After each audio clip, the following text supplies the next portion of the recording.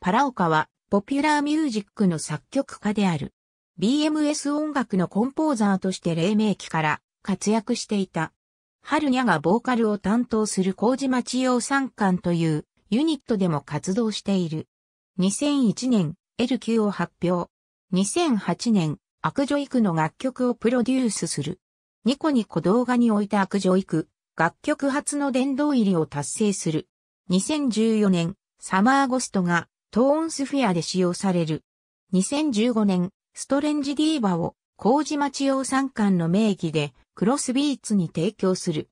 2015年、LQ がマイマイオレンジプラストチューニズムに収録される。2016年、アストラウォークスルーをダイバースシステム15周年の記念企画、ラジアルにて公開する。トーンスフィアというゲームにプラグアウト4に提供したサマーゴストが収録されたようです。ツイッターハット、商業情報カースワーズ .com、商業情報カースワーズ .com、ラジアルダイバースシステム。